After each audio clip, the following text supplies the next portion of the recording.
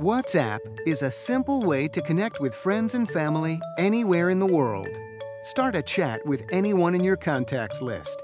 You can share an unlimited number of texts, images, voice notes, short videos, and even your location. All you need is Wi Fi or mobile data service. Because you're using data, you won't be charged for texts. Let's say Anna has a special friend in Istanbul. She sends him a quick text saying she misses him. He hits her back with this photo. She replies with a quick video. Aw, this is starting to look like more than just a friendship. Group chat is also easy with WhatsApp.